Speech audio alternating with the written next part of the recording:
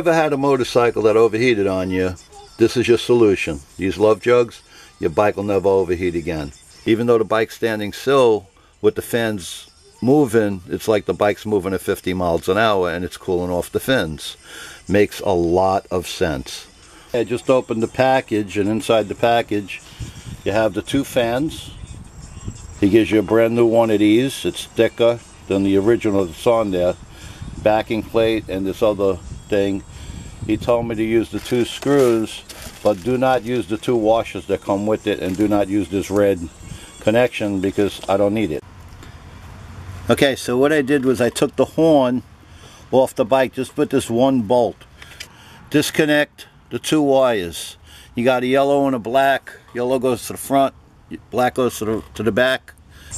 Okay, I took the horn off the bike. Uh, the Well, I'm in the process of connecting the horn uh, to the fan. So I'm going to put some Loctite on. Make sure everything is perfectly centered. And then I'll go and change this piece out. This is a very, very important factor. See the way I'm holding these channel locks onto this uh, rubber bushing that, you know, it's that piece that they add in, the extra piece. That's actually widened and this is the original that came off my bike. And the way I'm holding it is, if you notice, I got the channel locks on the metal part. It's going through the rubber onto the metal. Do not line up your channel locks in the center of the rubber without grabbing that metal part. Otherwise you'll shred the rubber. And he said it's a nightmare then to get off. So he stressed that and I'm stressing it. Do what he said. I did it. It worked great.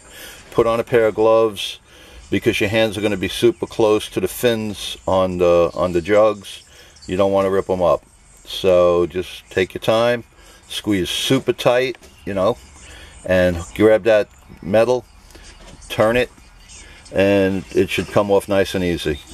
Now, when you go to put it on, this back thread here, where I'm pointing at, the back thread there only, put your Loctite on. So, and, and put it on hand tight. Then what I did was, I took my channel locks and I just gave it like a little quarter turn, you know, to tighten it up a little bit more. So, you can do the same thing.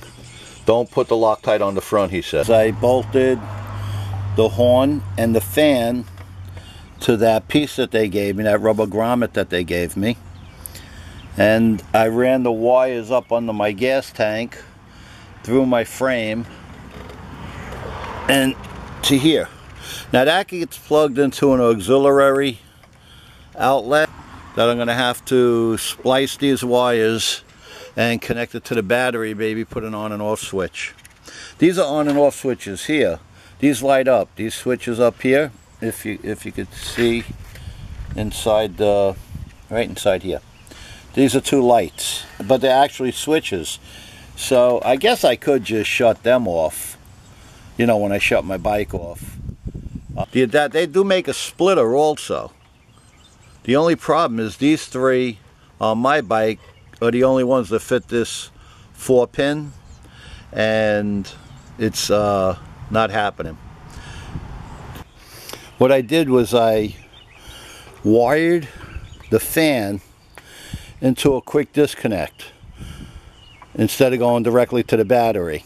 Now the reason I did that is I already have a quick disconnect on my bike for my lithium battery.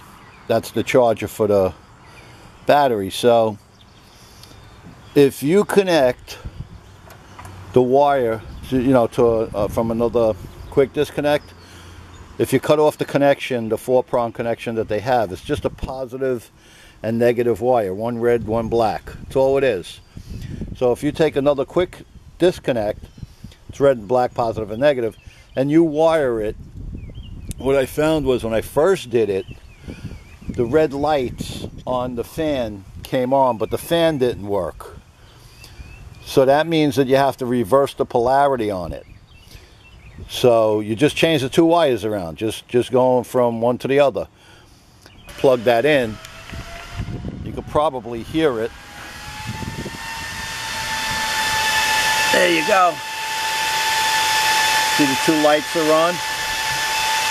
So instead of manually shutting off the fan lights, instead of manually shutting off, all I have to do is unplug the quick disconnect, plug my battery charger in.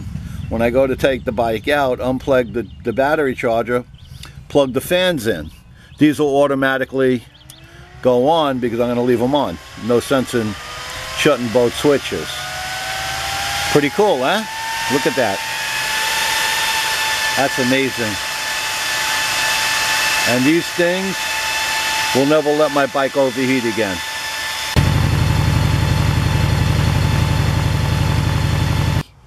This is a really good deal. Once you buy your set of love jugs and you install them and your friends see them and they want a set, if they tell Love Jugs when they're buying their set that you referred them and you give them your name, Love Jugs will send you $25 for the first nine people and then $100 on the 10th one.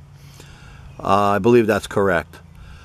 Now, if you use my name, my referral code, which is Biker New York at yahoo.com, that's B-I-K-E-R-N-Y at yahoo.com, I'll get $25. So hopefully you'll use my referral name.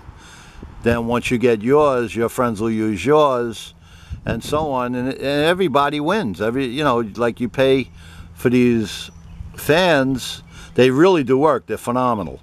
Uh, just that, the, that alone, it's worth every penny without getting anything back. But this is like a super bonus, you know, and it's really cool. So you could actually make your money back just like I'm hoping to make mine. But like I said, it's really not about the money.